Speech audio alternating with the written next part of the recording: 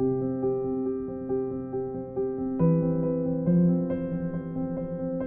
ားလုံးပဲမင်္ဂလာပါဒီနေ့မှာနှုတ်ကပတ်တော်အဖြစ်ဒီမှာရှိတဲ့ညီကိုမောင်မတွေကိုကျွန်တော်အနည်းငယ်ဝင်ငှကျင်တာဖြစ်ပါတယ်ဒီနေ့မှာကျွန်တော်ဝင်ငှကျင်တဲ့အကြောင်းအရာကယောဟန်ခန်းကြီး၄ထဲမှာပါတဲ့ယေရှုခရစ်တော်နဲ့ရှမာရိအမျိုးသမီးတွေ့ဆုံတဲ့အခန်းဖြစ်ပါတယ်ယောဟန်ခန်းကြီး၄အခန်းငယ်၁ကနေ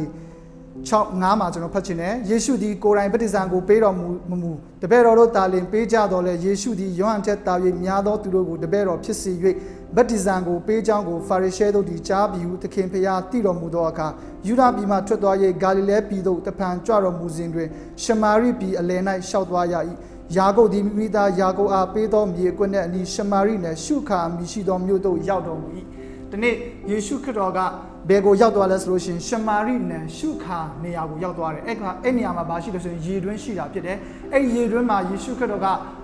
အနားယူနေတဲ့အချိန်မှာဘယ်သူရောက်တာရောက်လာတယ်လဲဆိုလို့ရှိရင်ရှမာရိအမျိုးသမီးကရောက်လာတာဖြစ်တယ်အဲ့ဒီရှမာရိအမျိုးသမီးကဘာလို့ဖို့ရောက်လာလဲဆိုလို့ရှိရင်ရေခတ်ဖို့ရန်အတွက်ရောက်လာတာဖြစ်တယ်အဲ့ဒီအချိန်ကဘယ်အချိန်ဆိုလို့ရှိရင်6နာရီထိုးတဲ့အချိန်ဖြစ်တယ်6နာရီဆိုတာကဒီနေ့ နော်လူလူတွေအများစုကရေခက်လက်မရှိတဲ့အချိန်ဖြစ်တယ်ဒါပေမဲ့ရှမာရိအမျိုးသမီးကအဲ့ဒီအချိန်မှာဘာကြောင့်မို့ရေကိုလာခက်ရတယ်လဲဆိုလို့ရှိရင် သူ့ကိုယ်သူအားနည်းချက်တွေရှိတယ်မပြည့်စုံဘူးမစုံလင်ဘူးဆိုတဲ့အားနည်းချက်တွေကိုမြင်ပြီးတော့သူကတင်ငယ်ချင်းတွေနဲ့လူတွေရှေ့မှာမထွက်ရဲဘဲနဲ့လူတွေရေခက်လက်မရှိတဲ့အချိန်မှာလာရောက်ပြီးတော့ရေခက်တဲ့အချိန်ဖြစ်တယ်အဲ့အချိန်မှာဘသူက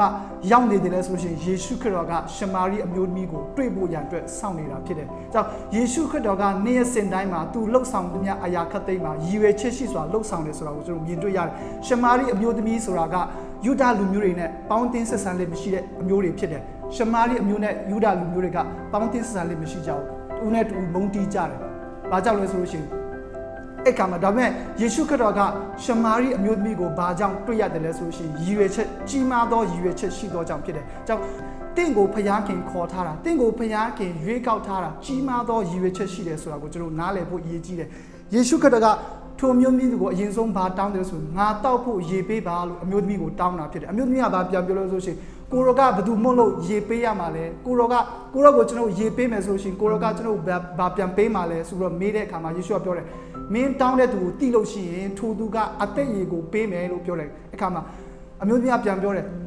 ဒီရေတွင်းကိုတောက်လာတာကျွန်တော်ဘိုးဘွားတွေတောက်လာပြီးပြီးယာကုတ်ကနေတဆင့်ကျွန်တော်ရဲ့တားစင်မြေးဆက်အရာခတ်သိမ်းအားလုံးလူအားလုံးကဒီရေတွင်းမှာရှိတဲ့ရေကိုတောက်လာကြပြီကိုရောကရေခတ်ဖို့ပစ္စည်းလည်းမပါဘူးရေတွင်းကလည်းနဲ့တယ်ဘယ်လိုလုပ်အသက်ရေကိုတောက်မှလဲဆိုပြီးတော့မေးခွန်းပြန်မေးတဲ့အခါမှာယေရှုကပြောတယ်ဒီငါပေးတဲ့ရေကိုတောက်တော်သူကအသက်ရေထွက်ရစမ်းရေတွင်းဖြစ်လိမ့်မယ်ဒီရေကိုတောက်တဲ့သူကတော့အမြဲတမ်းဆာငတ်ခြင်းနဲ့အမြဲတဖန်ပြန်ပြီးတော့ဆာငတ်လိမ့်မယ်ငါပေးသောရေကိုတောက်တော်သူက ထာဝရအသက်ရည်ထွက်ရစမ်းရည်တွင်ဖြစ်လိမ့်မယ်လို့ယေရှုခရစ်တော်ကထိုအမျိုးသမီးကိုပြန်ပြီးတော့ပြောတဲ့အခါမှာယေရှုခရစ်တော်ကစပြီးတော့ပြောတဲ့နေ့ကစပြီးတော့အမျိုးသမီးရဲ့အတွေးခေါ်အမျိုးသမီးရဲ့အထဲမှာရှိတဲ့အရာခတ်သိမ်းကပြန်လည်ပြီးတော့ကျမ်းမာလာတာဖြစ်တယ်သူ့အထဲမှာခံစားရတဲ့ဝေဒနာတွေအထီးကျန်ဆန်တဲ့ဝေဒနာတွေ